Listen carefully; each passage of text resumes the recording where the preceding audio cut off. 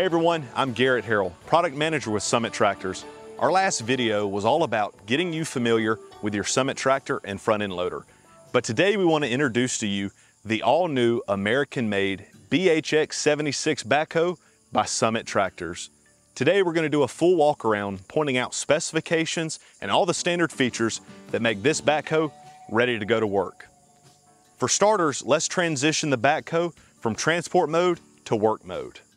So the first thing you want to do is back up to the spot that you have selected where you want to dig. Don't forget, before you get off your tractor, make sure the parking brake is on and the tractor is in neutral for safety. Once you're in your spot and you're ready to dig, the first thing you want to do is pull these two pins.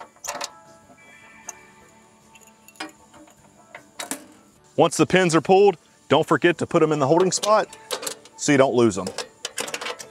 Then you want to pull the pins on the stabilizer arms Put them somewhere so you don't lose them. You want to lower them down one by one.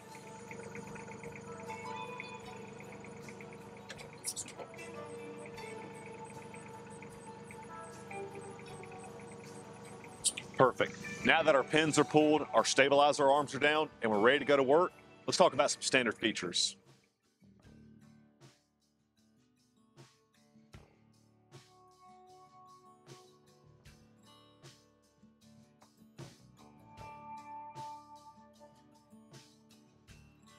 Every Summit backhoe comes standard with its own independent operator seat.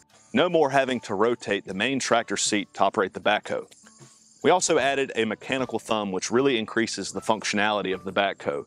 So now you have more options than to just dig. Now you can actually grab things with the backhoe. To put it in working mode, first you want to pull the clip, pull the pin, put it in the desired working location, this backhoe also comes standard with a 12 inch bucket, but we also have options of an 8 inch and a 16 inch bucket just for laying pipe or increasing capacity. We also have street pads for the arm stabilizers to protect finished surfaces. We mentioned that these two smaller middle controls is what lowers and raises the stabilizer arms. These two larger controls is gonna be your main functions for the backhoe. This left one is what's gonna lower and raise the backhoe and also shifts from left to right. The right control is what raises and lowers the arm and even controls the dump and curl function of the backhoe. We all know that the Summit TX25H is a heavy-duty tractor for its class. With its heavy-duty rear axles and standard rear remotes, the BHX 76 and TX25H are a perfect fit for each other. Now let's go over some specifications of the backhoe. The backhoe has a digging depth of 76 inches with a bucket cylinder digging force of 2,270 pounds. It also has a full reach of 109 inches with the ability to rotate 148 degrees. When the backhoe is in transport mode and the stabilizer arms are up, the backhoe has a height of 72 inches with a width of 59 inches. When in working mode and the stabilizer arms are down, it has a width of 74 inches and the backhoe has a total weight of 790 pounds. The Summit BHX 76 backhoe is a full subframe mount, which means it is specifically designed to only fit the Summit TX25H. When designing this backhoe, it was important to us to design a backhoe that is as durable and reliable as our Summit tractor, but that can also be easily removed from the tractor with a quick few easy steps the first thing that you're gonna to want to do is lower your stabilizer arms on both sides.